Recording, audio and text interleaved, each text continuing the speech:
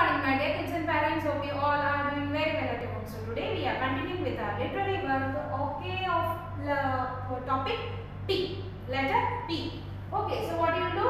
Page number 57. हमारा जो ये जो वीडियो है continuation of letter P okay हमने इसके पहले भी वीडियो में देखा था कि लेटर पी को कैसे लिखना है both capital and small letter के okay yes so now we have two activities on page number 57 so we look into our first one that is find letter p in the given words and circle it आपके page में book में चार पाँच words दिया है you have to find out where the letter p is coming and you have to make circle around it right yes so मैंने उसमें से तीन images लिया है and the first one is pot pot p pot p or t pot so where the letter p is coming Yes, the first letter itself is P. So you will make a small circle around that letter. Okay. Now coming to the next one that is trumpet. T R U M P T. Trumpet. Trumpet. So where the letter P is coming? Yes, P E T. है ना? Trumpet. Okay. Very good. Now the next one is cup. Cup. C U P. cup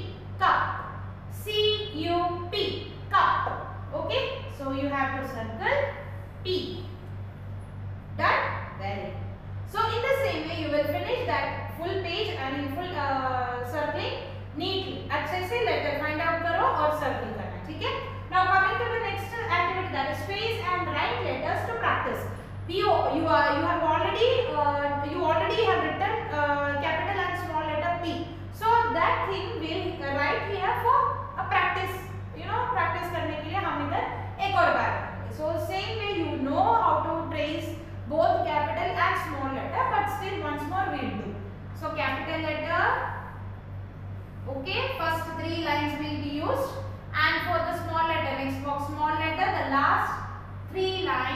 are used and kindly write on the dots dots के ऊपर okay so once more once again capital letter P small letter P understood yes in the same way you will also finish this tracing part both of both capital and small letter neatly okay now coming to the writing part without dots or